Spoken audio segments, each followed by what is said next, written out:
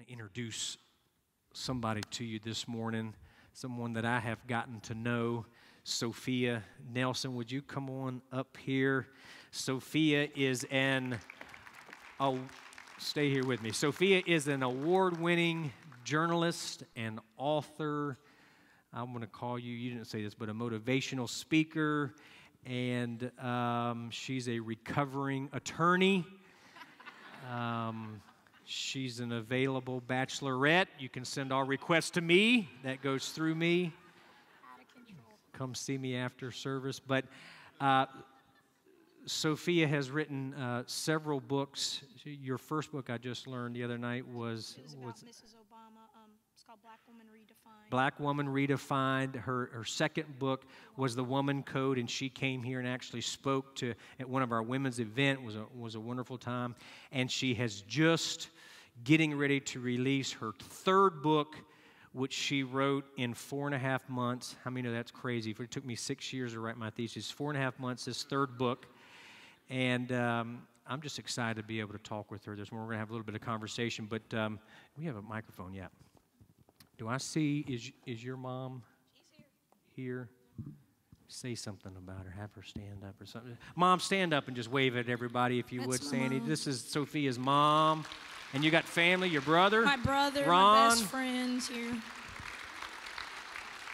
As you know, I had a big birthday party last night, and you were there, and I came in the door, and Pastor Charlie was trying to do the wobble, you guys. So I just want you to know, I caught it out the corner of my eye, and I went, "Is that Pastor Charlie doing the wobble?" It was awesome. Anyway, I'm doing the questions, okay? I'm so you just. I'm sorry, I got you in trouble. He's a good dancer. Jill's No. better, but This is a dancing church. I'm not in trouble, so.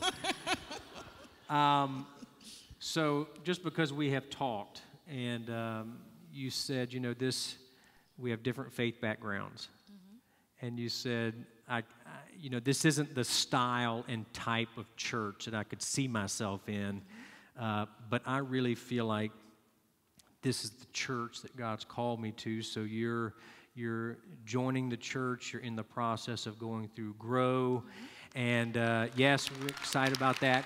Um, with our differences, though, how, how are we sitting here? How, how did that happen? Well, Vanessa Maddox, y'all know Vanessa. She brought me here about four years ago to one of the evening, um, your candlelight Christmas Eve services you have. And that really took me back because in my faith tradition, much more conservative, we never had Christmas service or Christmas Eve.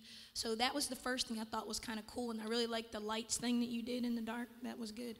And then I would I would sneak in from time to time, literally sneak in because I didn't feel like I could tell anybody I was sneaking in because of how I was raised and what I believe. I mean, no music, more conservative women's roles, things, but I saw something different here. And ultimately, I got to meet you and Jill, and a relationship started. I got to meet some other people. I went to a couple of the Grow classes.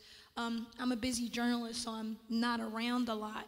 And um, then Jill had me speak last January at your women's event for the Woman Code, and the women here were awesome and um, of course got to know you better and this church is special i think because how many of you know that sunday morning is the most segregated time in our country we worship black churches white churches asian churches whatever this church look around you this is something different you have here this is a diverse church this is what heaven's going to look like it's going to be all of us one Amen.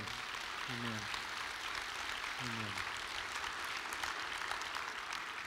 So, I don't think you could have. So, this tomorrow, you're having a, a signing day for your book at Barnes and Noble and Tyson's, Big event in big event. Dr. King's birthday. and then it's nationally released Tuesday. So, it's just a big, big weekend for you. Um, I don't think you could have planned naturally uh, the timing of this book. Uh, God definitely uh, had his hand in it. Um, and I want to talk a little bit about it. It's called uh, e, e Pluribus One. And let's just start. You've got to be smart if you title your book E Pluribus One. I'm like, Sophia, what's that mean? So let's just start there. You, you know, you're making me nervous because I'm thinking I assumed everybody knew that e pluribus unum out of many one is our national motto. I hope they do anyway.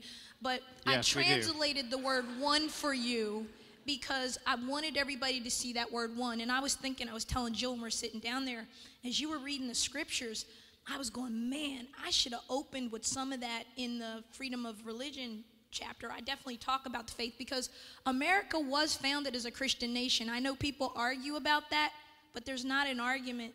The founding fathers were very clear about the freedom of faith.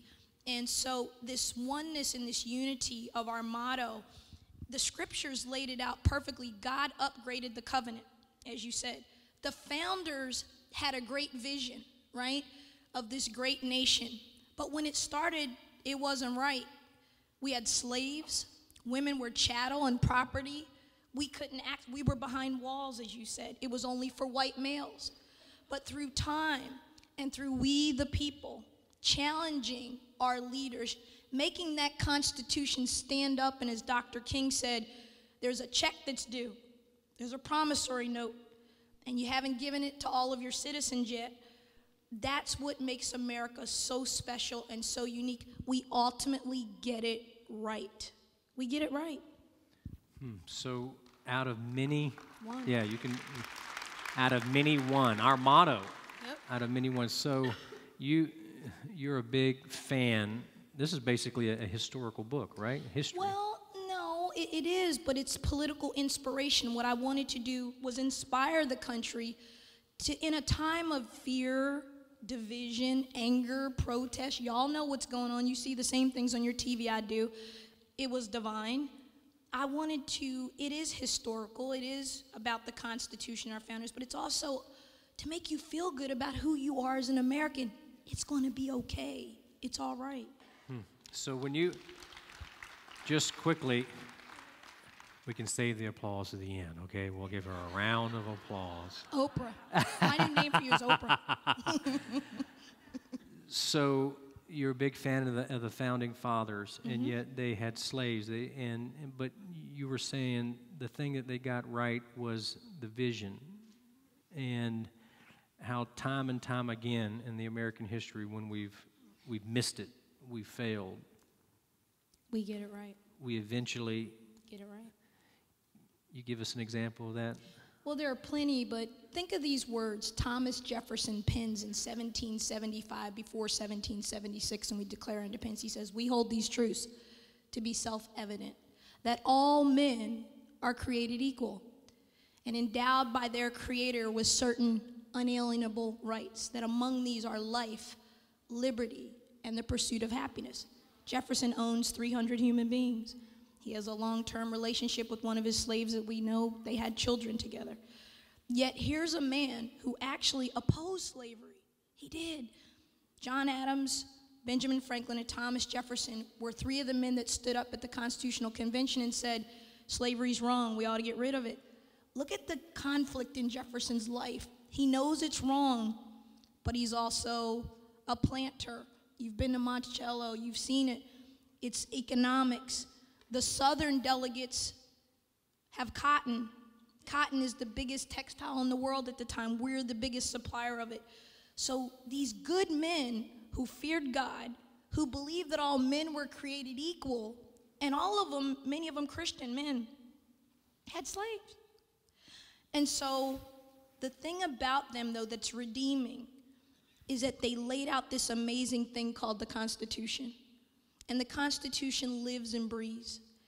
And Virginia, this year, 50 years to the day, Loving versus Virginia was decided. It's a historic case. You can go see the movie that's up for Golden Globes, Tearjerker.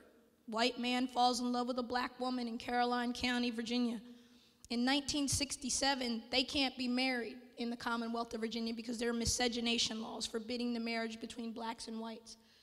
They take it to the Supreme Court. Two country folks, poor people, working people, but they loved each other. The Supreme Court, who at that time Thurgood Marshall's a new justice, the first black justice on the Supreme Court, all of them are in my book. My point is, We get it right because we, the people, challenge and we make our documents work. We're a republic. And I get mad when people say we're a democracy. We're not. We're a republic. And that means the government is invested in we, the people. And we've forgotten that when 50% of us don't even vote anymore. So, your book, you've got some copies, pre-copies before it goes public. Are gonna be, you're going to be out in the narthex. Um, I want you to go by, see her, maybe get a signed copy, and just meet one of our brand new members in our church. Okay? Uh, I really think that um, actually, before we do that, you got to share one more story because this is this is personal to you. Tell us about your your great grandfather and Okay. Well, I was talking about the Loving versus Virginia case. My great grandfather and grandmother on my father's side are from South Carolina and little small town called Ridgeway. I'm sure your parents might know where it is because they're from there. Um, and um, he was a white man and she was a black woman. And in the 1920s, they obviously could not be married. Um, so they had to leave and go to New Jersey, which is where they settled. And then they uh, got married and had children. And I'm the result of that progeny there. And um, I think they'd be real proud if they were here today to see me talking about a book about bringing us together and uniting our country. Our country's in some distress right now. They say we're divided. I reject that notion. I don't think we're divided. I think we disagree on some things. I think we're protesting in the streets. I think we're raising our voices. Guess what? That's what we do in America. That's what we do. No other place on earth, Charlie, is like us. And don't ever let anybody tell you your country's broken or we aren't going to get past this. Don't let race be a dividing wall. Don't let gender. Be, we're Christians. And he read those scriptures, and I was I hadn't read those scriptures in a long time. Did you see the word one kept coming up? One, unity, not division. So I'm excited about this. You can catch me on C SPAN in the morning. I'll be taking calls from all the crazies around the country. God only knows what you get when you're on C SPAN in the morning, but it's, I'm ready for it. And then we're going to do Fox and Friends. We'll do Morning Joe. I'll be on Good Morning America, all that. So I really- representing Jesus, doing my best. Amen. I really think that the hand of the Lord is on Sophie in a, in a special way. And uh, as her church family, can we just pray for her? If you're comfortable with this, would you stretch your hands out towards her? And, and um, I even said, Sophia, why don't you run for office, for goodness sakes? We need some good politicians. Lord, we thank you for this woman, this good woman. Lord, we thank you for raising her up at this moment, at this time. Lord, thank you for the message of this book. And Lord, we as our church family, we just pray for success, blessing. Lord, go before her. Lord, I pray that you open doors that she was not expecting to be opened. Just may they open up before her, God. And guard and protect her, Lord God. Lord, give her a platform for righteousness. In Jesus' name, we all agree and say, Amen. Amen. Bless you. Thank you for having me. Thank you.